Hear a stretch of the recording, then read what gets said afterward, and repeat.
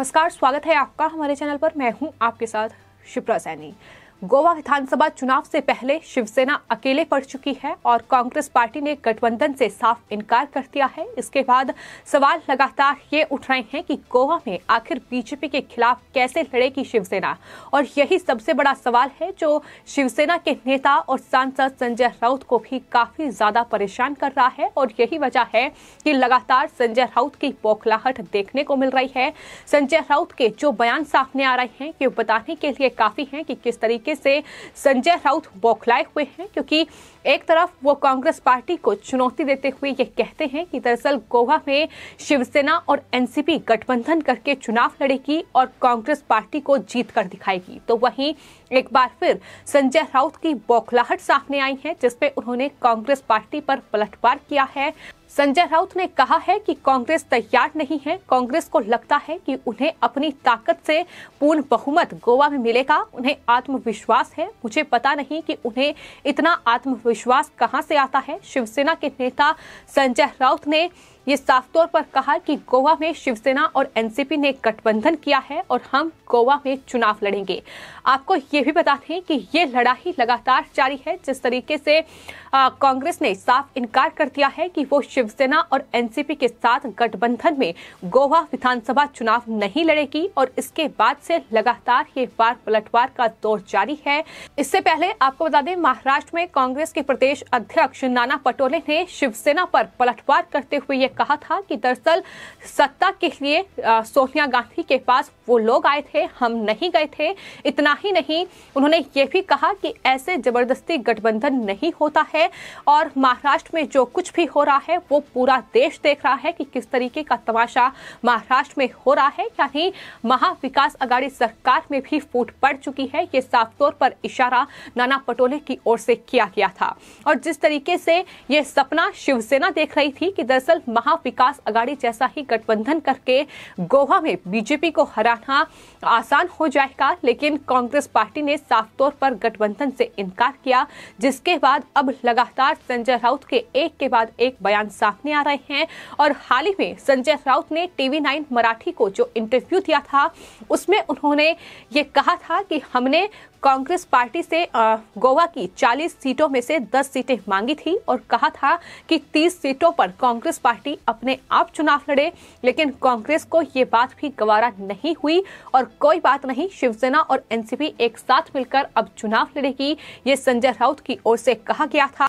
संजय राउत ने कहा कि दरअसल कांग्रेस पार्टी, एनसीपी, शिवसेना और कांग्रेस का जो गठबंधन है, वो गोवा में नकार रही है, लेकिन इसका खामियाजा उन्हें भुगतना पड़ेगा।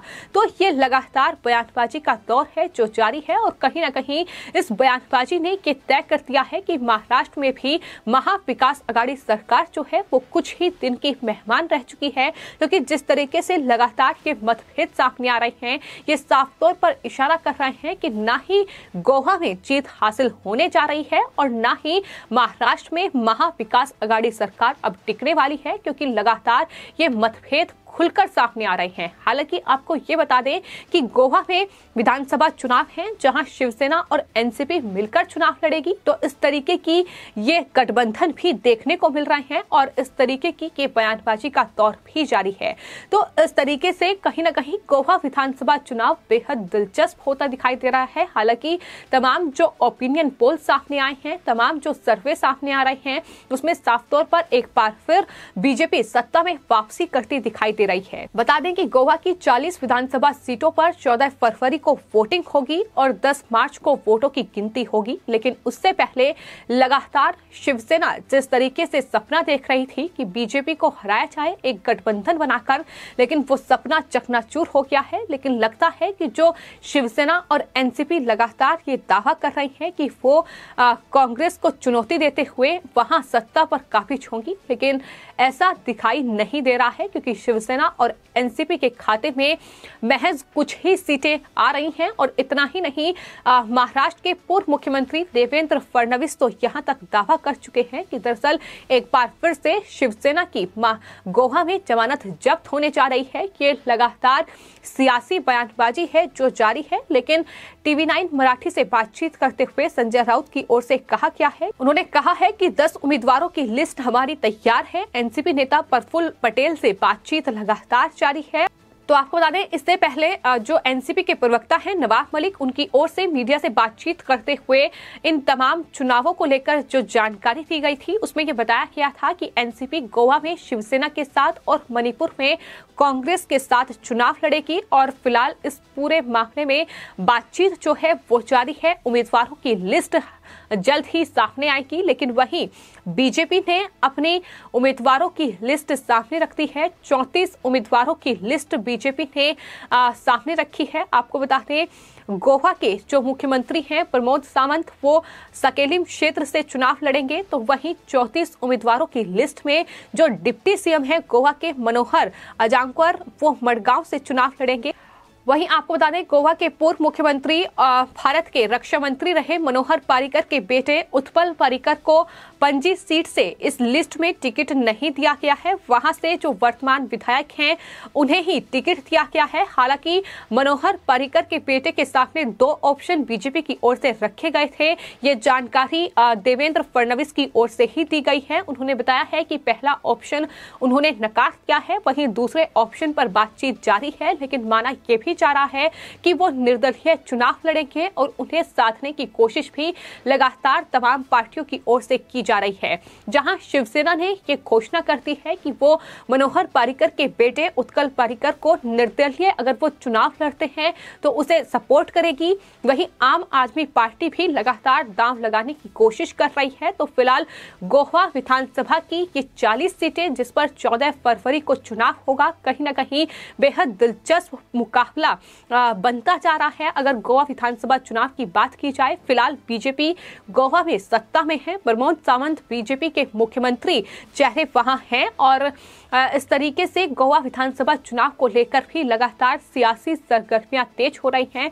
लेकिन सबसे बड़ी बात यही है कि महाराष्ट्र में जो महाविकास अगाड़ी सरकार है, यानी जो एनसीपी, कांग्रेस और शिवसेना गठबंधन में है, लेकिन गोवा तक आते आते वो गठबंधन टूट चुका है क्योंकि कांग्रेस पार्टी ने अलग और अकेले चुनाव लड़ने का फैसला कर लिया है तो वहीं एनसीपी और शिवसेना मिलकर चुनाव लड़ रही हैं। दावा उनकी तरफ़ से ये किया जा रहा है कि बीजेपी को हराकर वो इस बार गोवा की सत्ता पर काबिज होंगी लेकिन देखना दिलचस्प होगा कि आखिर क्या ये जो गठबंधन है, ये कांग्रेस को भी मात दे पाता है या नहीं, क्योंकि इस तरीके की सियासी बयानबाजी का दौर जारी है, जहाँ ये तीनों ही पार्टियाँ आपस में उलझती नज़र आ रही हैं। तो वहीं तमाम सर्वे ये दावा कर रहे हैं कि बीजेपी एक बार फिर से गोवा की सत्ता में वापसी कर रही है। हालाँकि शिवसेना के लिए कहीं ना कहीं बेहद मुश्किल वक्त है, या यूँ कहें कि पार्टी के लिए बेहद मुश्किल वक्त है, क्योंकि जिस तरीके से शिवसेना का एक अपना अस्तित्व था, एक अपनी खुद की छवि थी, अब पूरी तरीके से वो खत्म हो चुकी है।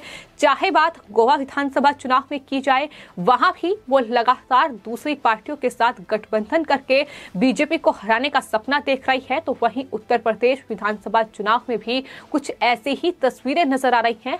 वहीं आपको बता दें यही हाल कुछ शिवसेना का उत्तर प्रदेश में भी होता दिखाई दे रहा है जहाँ मुख्यमंत्री योगी आदित्यनाथ और बीजेपी को हटाने के लिए शिवसेना कोशिश कर रही है कि वहाँ भी गठबंधन करके आ, किसी तरीके से वहाँ भी तमाम विपक्षी पार्टियों का साथ लेकर सीएम योगी आदित्यनाथ को हराया जाए। हालाँकि चुनाव लड़ने का फैसला अकेले किया गया है कि उत्तर प्रदेश की लगभग सौ सीटों पर शिवसेना चुनाव लड़ेगी लेकिन समर्थन जो है वो समाजवादी पार्टी के अध्यक्ष अखिलेश यादव को जताया जा रहा है और ये कहा जा रहा है कि दरअसल अखिलेश यादव ही ये लड़ाई लड़ सकते हैं और अहंकार सबको डुबाता है। लोग बहुत बड़ी अपेक्षा के साथ अखिलेश यादव को देख रहे हैं। इस तरीके की बयानबाजी संजय राउत की तरफ़ से की जा रही है। तो फ़िलहाल शिवसेना अपने दम पर कहीं भी बीजेपी को हराने की कोशिश नहीं कर रही है। कहीं भी अकेले सामने नहीं आ रही है, बल्कि कहीं ना कहीं झुंड में आकर बीजेपी को हराने का जो ये षड्यंत्र पूरा रचा जा रहा है, इसमें भी शिवसेना फेल साबित हो रही है। ये हमने गोवा में देखा, ये हमने उत्तर प्रदेश में भी देखा, और ज़ाहिर तौर पर जिस तरीके से 2024 में प्रधानमंत्री नरेंद्र मोदी को हराने का सपना शिवसेना ने कहीं ना कहीं पाला है और सोच रही है कि तमाम पार्टियों का गठबंधन करके प्रधानमंत्री नरेंद्र मोदी को इस पद से हटाया जाए। लेकिन कहीं ना कहीं वो सपना भी चकनाचूर होता नज़र आ रहा है, क्योंकि जिस तरीके का रिस्पॉन्स शिवसेना को मिल रहा है, क्योंकि तमाम विपक्षी पार्टियाँ, फिर चाहे वो ममता बनर्जी की पार्टी हो या फिर कांग्रेस पार्टी हो, खुद प्रधानमंत्री बनने का सपना देख रही है और ऐसे में शिवसेना का सपना चकनाचूर होता फ़िलहाल नज़र आ रहा है। तो यही है शिवसेना की हालत। हालत जो लगातार देश में बद से बदतर हो रही है। फ़िलहाल आपकी इस पूरे मामले पर क्या राय है, हमें कॉमेंट बॉक्स में ज़रूर लिखें और चैनल को सब्सक्राइब करें। धन्यवाद।